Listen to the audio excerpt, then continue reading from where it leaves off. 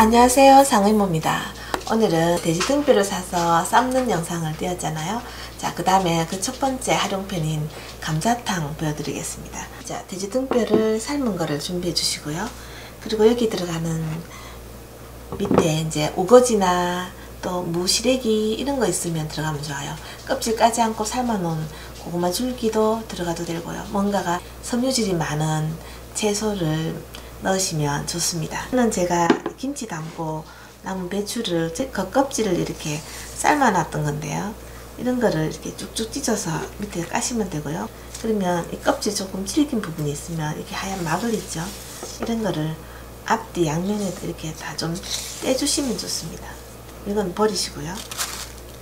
이렇게 쭉 찢어서 이렇게 넣으시면 좋고요. 그리고 이제 이거는 그렇게 넣으면 되고요. 이거는 제가 작년 겨울에 김장하고 무청 달려있는 거 있죠? 그 무청을 이거는 감자탕 끓일 때 해먹으려고 제가 만들어 놓은 거거든요. 그 무청을 이제 말리거나 하지 않고 바로 삶아서 이렇게 된장 넣고 한번 끓여서 초벌구이 하듯이 초벌 찌개를 만들어 놓은 거예요. 아주 많이 끓이지 않고 적당히 익혀 놓은 거거든요. 감자탕 할 때 이거를 한 덩어리씩 넣어서 끓여 먹으면 굉장히 편하더라고요. 된장하고 고춧가루 이런 기본 양념을 몇 가지 넣어 갖고는 이렇게 폭폭 끓여 가지고는 한 덩어리씩 뭉쳐서 냉동실에 넣어놨다가요. 감자탕 해 드시거나 아니면 무시래기 나물 드시고 싶으면 이걸 한번 다시 더 끓여서 드시면 되거든요. 제가 얼은 상태입니다 이렇게 채소 같은 거 얼렸던 이런 거는 해동시키지 말고 바로 하시는 게 제일 좋아요 이걸 해동시키면은 물이지로 나오고 좀 보기 안 좋거든요. 자, 그리고는 이제 배추도 마저 제가 넣겠습니다. 이렇게. 배추 이것만 하시면 되고요.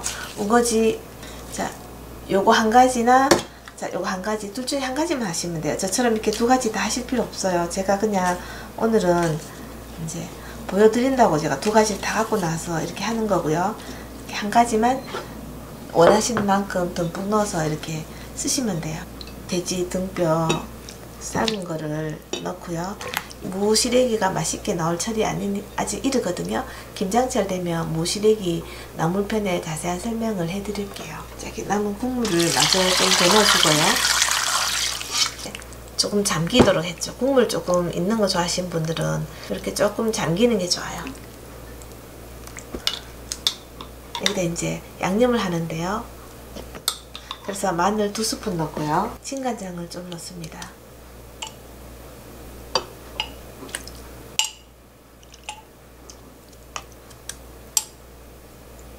진간장 3스푼 넣습니다. 이게 고춧가루를 좀 넉넉히 넣을 거예요. 이게 고추장 들어가는 건 아니고요. 총 고춧가루로만 할 거거든요. 그래서 두 개, 자, 세 개. 이 냄비가 5리터의 냄비인데 지금 거의 3리터가 찼거든요. 이 총 양이 지금 국물까지 합쳐서 한 3리터가 됐습니다. 그리고 여기 들어가는 게 카레가루입니다. 카레가루 듬뿍 한 숟가락만 넣을게요.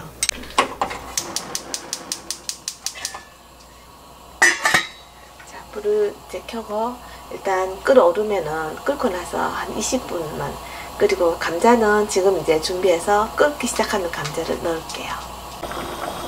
자 이제 끓어올라서 제가 방금 감자 큼직한 거 이제 넣었고요. 네, 양파 썰어놓은 거 좀 넣고 고추 조금 칼칼해라고 청양고추랑 또 그냥 고추랑 좀 섞어서 좀 넣었습니다. 자, 대파도 이렇게 넣고요. 이렇게 해서 딱 20분만 끓이겠습니다. 그리고 이제 간은 마지막에 할게요. 네, 감자탕이 한 20분 끓였으면 이제 간을 해야 되는데요. 새우젓 있으시면 좋아요. 새우젓이 또 돼지고기와 또 잘 어울리겠죠. 새우젓 있으시면 한 스푼 넣어주시고요. 또 새우젓 없으시면 멸치 액젓 괜찮습니다. 멸치 액젓 주시고요. 그리고 나머지 모자라는 간은 소금 하시면 돼요. 물론 천일염 하셔도 되고요. 어느 것 하셔도 상관없습니다. 본인의 취향대로 마지막 간은 보시기 바랍니다. 저는 반 스푼만 더 넣을게요.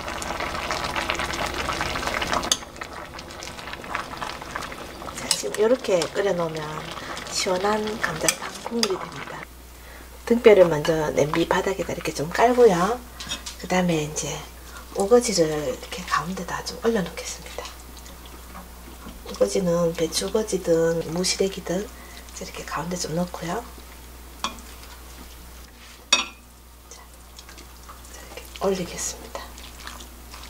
자, 감자도 너무 익히지 마시고요. 드시기 딱 적당할 만큼만 익히시면 돼요.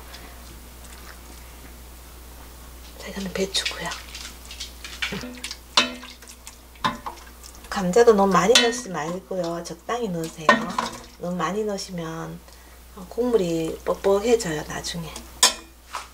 이렇게 해서 이제 우거지가 잘 안 보이면 살짝 올려주시면 됩니다.